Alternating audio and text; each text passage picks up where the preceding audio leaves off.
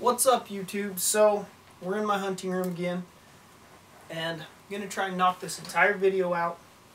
One sitting, no edits. We're just going to film it, post it. So right now we're exactly a week away from Utah's opener, archery opener. So I have an archery mule deer tag in a unit I've never hunted. Now I work right next to this unit in and it's a desert unit and it's been 100 degrees at work. So the hunt's way hot. It's nothing like I normally like to do, which is get up high, get away from people. You know, every time I've gone out scouting and thought I found an area where there was going to be no people, I show up and there's four-wheeler tracks everywhere. You know, unmarked four-wheeler tracks all over the area. So found a couple bucks in stockable locations, smaller bucks.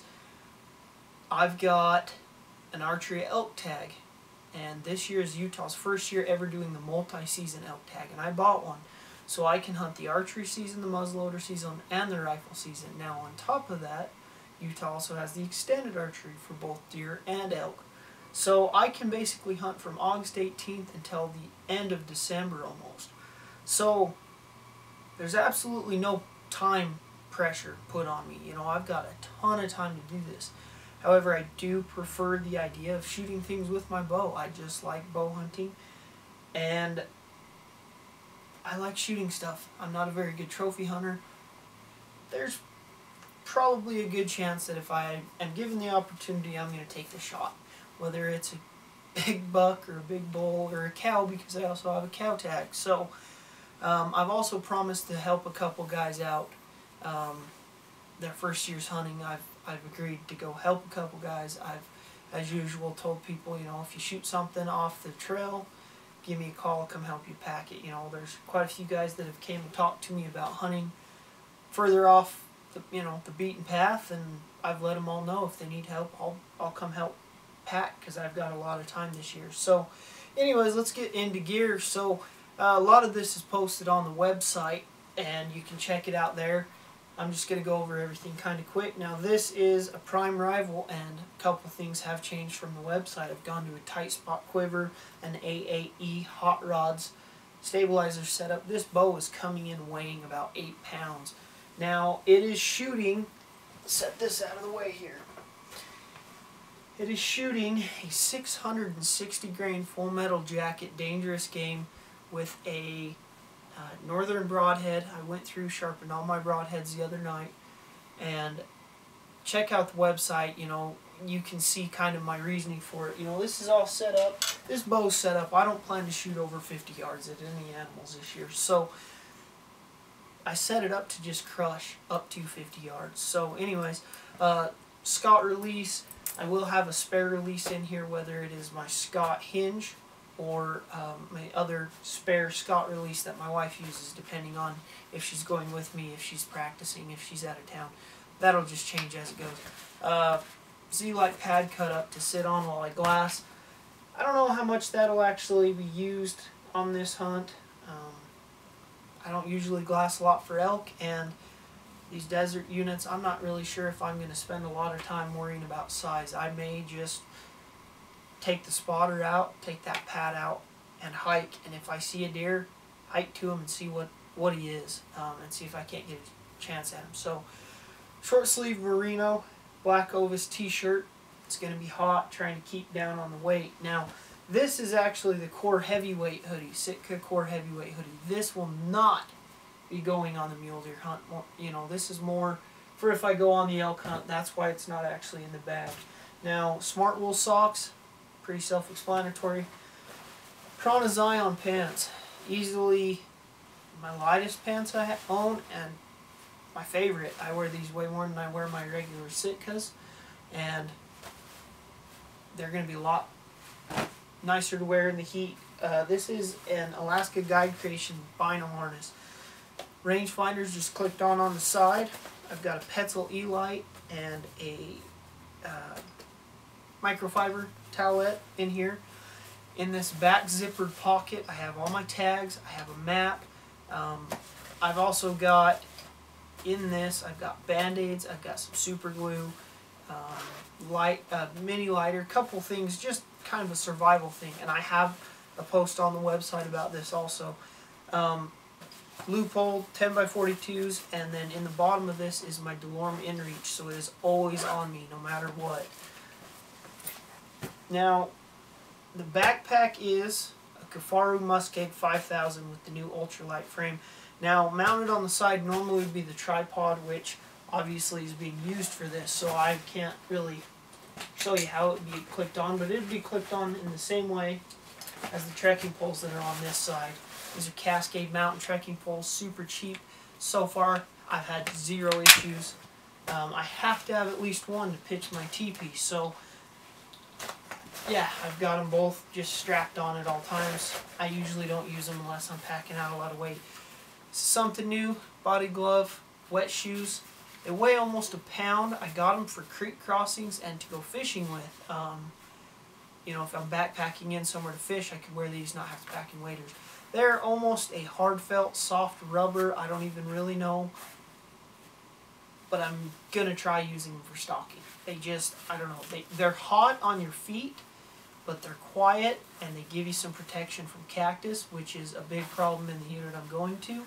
And at a pound, I figured it'd be worth trying this year. Now, this is Sea to Summit compression bag. Now, with this hunt, I do not plan to have the DSLR mounted to my Peak Design strap on my chest.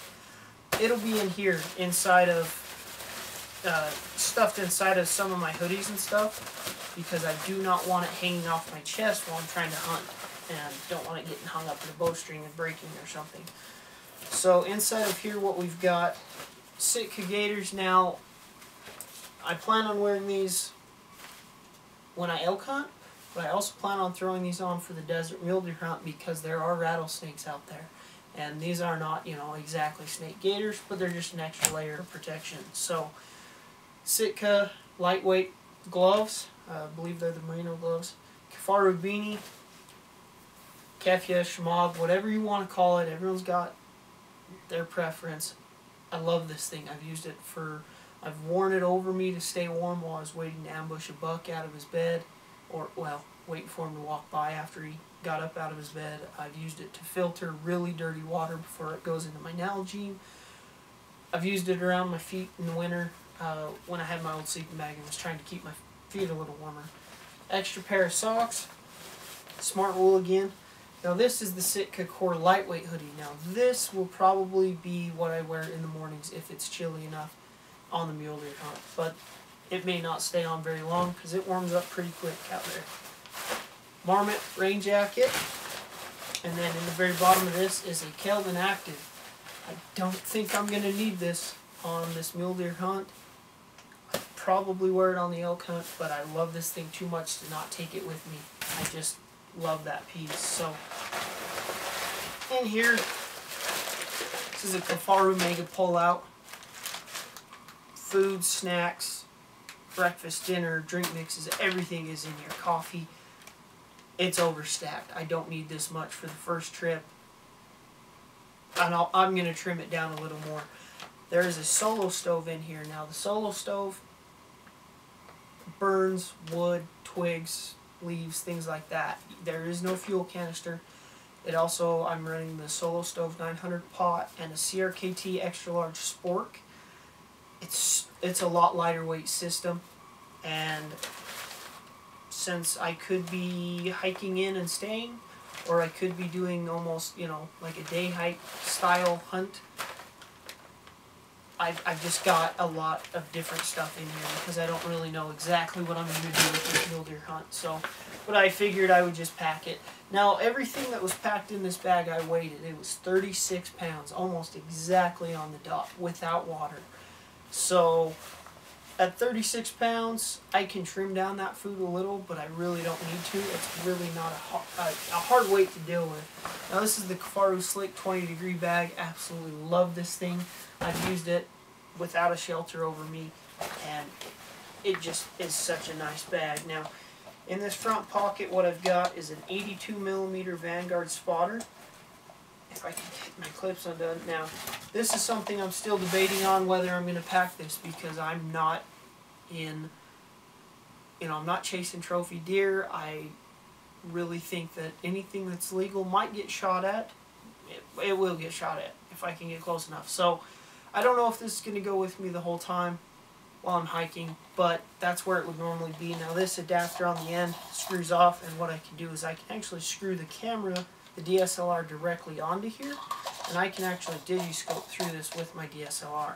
So that's why it's got this kind of funky looking end piece on it. So, like I said, I'm not sure if it'll go with me on all my hikes or not, but it's there in case I need it. Now, this is the Luxe Hexpeak Teepee. As you can see, rolls up pretty small, super easy to throw up. Um, you know, in in really any situation, it's gonna keep you protected. It's plenty big. So this is kind of rednecked right now. Uh, I've ordered a Kifaru medium pull out, but it hasn't arrived yet. So what this is, this is just game bags stuck around my kill kit because I kind of think that might be about the size of a medium pull out. It's probably a little big, but I was just getting a rough size. So this is my kill kit. I've got Havalon knives, extra blades, uh, Hunter Honer quick sharpener, latex gloves, some more guy line, um, Sharpie, some tags to market, some flagging tape, stuff like that. Just some, just some simple, quick kill kit stuff. And like I said, it will be in a pull out as soon as that pull out shows up. This is my stakes, my ground sheet, the rubber feet for the bottom of my trekking pole because I feel like it doesn't sink into the ground with that and it helps keep your teepee at the height you want it as well as extra guy line in here for the teepee itself specifically. Some of it is cut to length already just for a quick swap. Klymit, Inertia Ozone sleeping pad, super lightweight. As you can see, it's already small and it's not even compressed down. Um, it is a not a very high R value, but I don't really need that with the slick bag and early season. I honestly don't switch to my Exped until it gets a lot colder, even when I'm hunting up high. Now this is a Kifaru mini pull or a small pull out. This has my first aid kit and all my kind of possibles, daily stuff, toothbrush, toothpaste, compass, fire starter. Um, there's a better breakdown of what is in here on the website. It used to be two separate kits. I've now combined it into one. There's extra batteries, things like that in here. So that is that. And if you want more info, like I said, check out the website. So what we've got here in these, uh, well, so this is a Nalgene holder on the side. I do not have my Nalgene in here. I'm currently washing it after the Green River trip. That is my binocular to tripod adapter. SteriPen, more guy line. I feel like I've got way more than I need in here right now, but just kind of how it played out. SE Azula 2, I believe this is what this one is. Um, went through and sharpened it while I was sharpening my broadheads, so it should be good to go.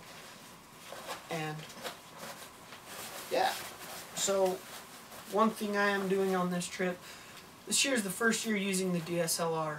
This is a Nikon point and shoot camera. I'm leaving it in here because I plan to keep the, the nice camera protected in the main bag.